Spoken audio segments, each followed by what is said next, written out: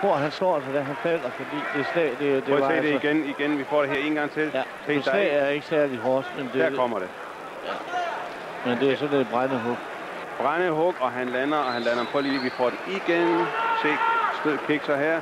Omfavnelse. Og han vender ryggen Bang. til selv, ikke? Men, og i nakken, og så knaller han hovedet mod brænderne, da han lander. Og øh, ja, nu må det være op til den engelske øh, kampleder Paul Thomas. Og jeg kan se, at han går over og, og konfererer med John Coyle. Den anden englænder, som, øh, som ser som tidedommer, det er jo meget almindeligt øh, kamplederens udsyn at være. Ivan bliver sendt over i sit hjørne. Ja, kampen er ikke, det har vi været klar over et stykke tid. Den kunne umuligt gå i gang igen. Spørgsmålet er, hvor er vi henne? Bliver Ivan...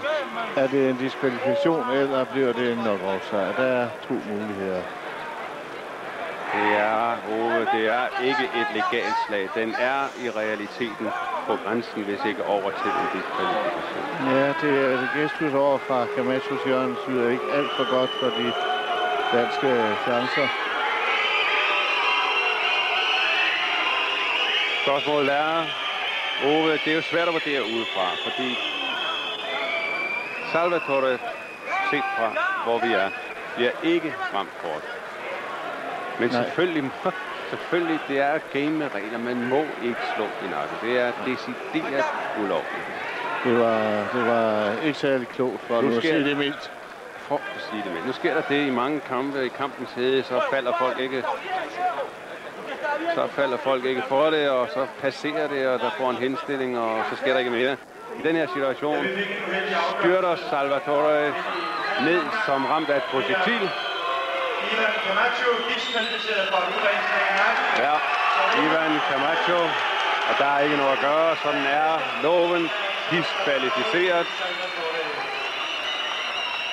Og han var i hvert fald meget hurtig til at, at, at, at se sin eneste chance i dag.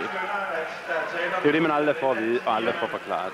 Det er, vi ved det ikke. Vi kan ikke, vi kan ikke udefra bedømme, hvor hårdt han bliver ramt. Det var det skuespil, var han ramt hårdt. Slaget virker ikke hårdt, han lander hårdt. Men, Men han var chanceløs. Italieneren var chanceløs. nu har vi her i billedet en Ivan Camacho, der bryder sammen i ringhjørnet, og jeg forstår det. Ove, der var jo ikke nogen tvivl om, hvem der var fighteren, og han var uden tvivl på vej mod Nej, det må... Hallo, hallo. Nu er vi ude i den helt store skandale. Ja. Det var dog redselsfuldt og frygteligt. Tæm dog manden. Stop den kæle mand. Hvad er det for en manér og en opførsel? Nej, det var ikke klogt. Det var meget, meget, meget, meget uklogt. Ej, nu overfalder han sin modstander i ringhjørnet. Stor, stor Store skandale. sekundanter og alt. Kæmpe, kæmpe skandale. Ja. Kæmpe skandale.